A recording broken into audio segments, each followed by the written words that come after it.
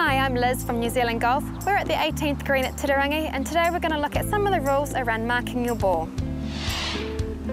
I've had a nice approach shot into the green. I've now got this part to win the match.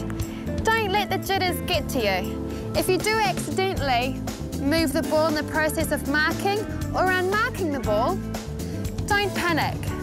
Return the ball as close as possible to the original position. If you don't do this, then you will be penalised. As good etiquette, place the marker directly behind the ball. When returning the ball, return it as close as possible to the original spot. Another situation that happens quite often in a round of golf is that your ball interferes with the play of your playing a partner's ball. If this happens, you may be asked to mark and spin it. In this case, mark the ball as you normally would, and then spin it.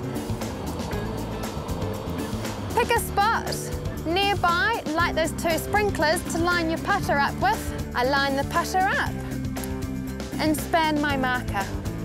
The important thing is, once your playing partner has putted out, is to return your marker and your ball to the original position. Span back your marker by realigning it to your spot.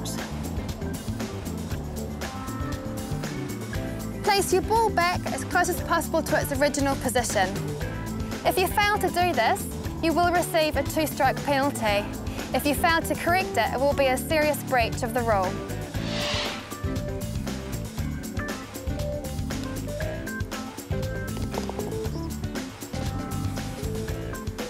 That was some tips on how to mark your ball around the putting green.